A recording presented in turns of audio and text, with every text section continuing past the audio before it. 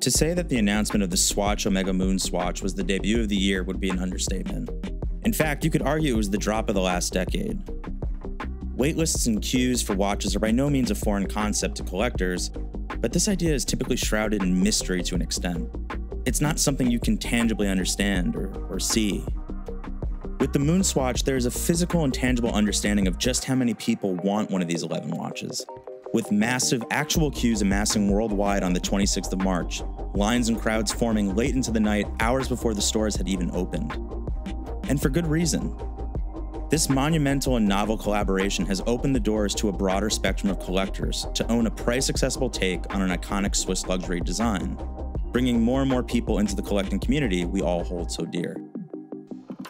The moon swatches are definitely rather faithful recreations of the Speedmaster, meticulously mimicking the case to the point that we've even seen people successfully affix actual Speedmaster bracelets to the moon swatch.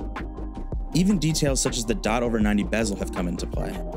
But at a more apparent level, the 42mm moon swatch case carries the same wearing dimensions as the Speedmaster, and utilizes the same crown design, pusher design, and alpha hand style we associate with the Omega Moonwatch. In the spirit of democratization, as well as the sense of space exploration, the watch is outfitted on a Velcro strap that allows you to tailor fit the watch to your wrist. But of course, swatches put their playful spin and DNA into this collaboration, offering the proprietary bioceramic case material in a wide spectrum of colors for everyone to debate which is their favorite. Now, at such an approachable price of 260 US dollars, there are clear differences to mention as well.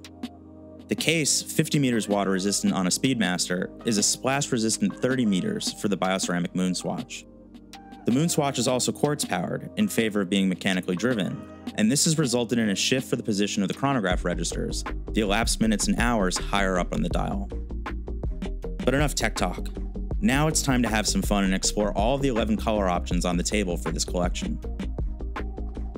The mission to the sun is definitely for those who want to brighten their day. Its bright sunbrush gold and white accented colorway is sure to bring joy to whomever is wearing it. The mission to Mercury in deep gray is a bit more somber, but nonetheless incredibly versatile and aesthetic as a result.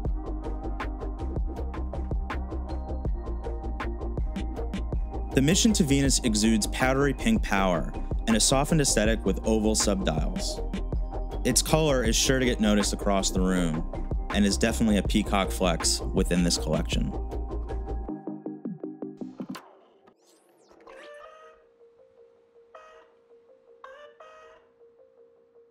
The mission on Earth celebrates our own planet with two colors of the year in recent era blue and green. And the green is not just your everyday green, it's a mint green that's surely to be refreshing on the wrist.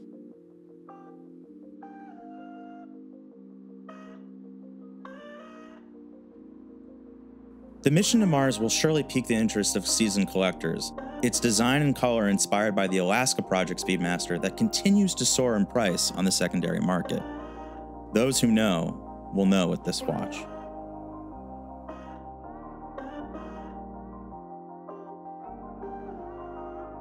Speaking of taking inspiration from a limited edition Speedmaster design, the mission to Jupiter pairs a desert like bronze colored case and dial with an orange Ultraman inspired seconds hand. Again, for those who know.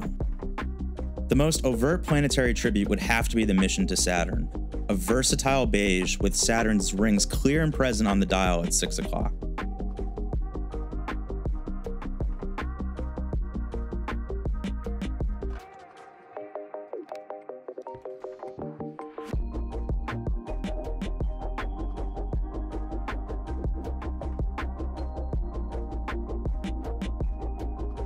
The mission to Pluto combines the safety of a gray case with a pop of burgundy, both on its bezel and its chronograph registers found on its stone off white dial.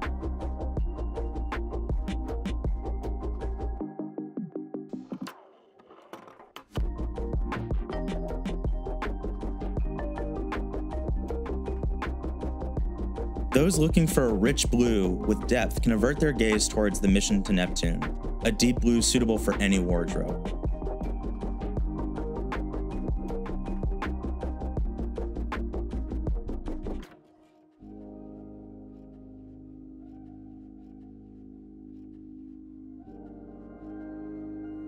For those who wish to wear a more bold blue, in line with the burgeoning trend of Tiffany blue flavor, the pale blue of the Mission to Uranus is sure to be a winner.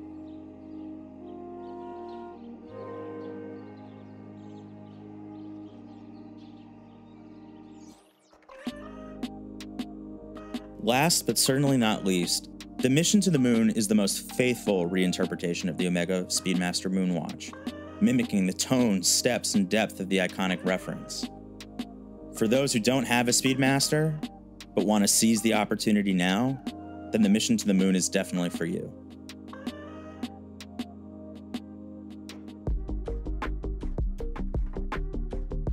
Look, as you can see, there's a lot to explore within this range, a journey of space exploration in of itself. Let us know in the comments below which color is your favorite. And as for securing one of these highly in demand pieces, may the odds ever be in your favor in the coming weeks. Thank you for watching, and be sure to subscribe to the Time and Tide channel for all the latest watch news and content.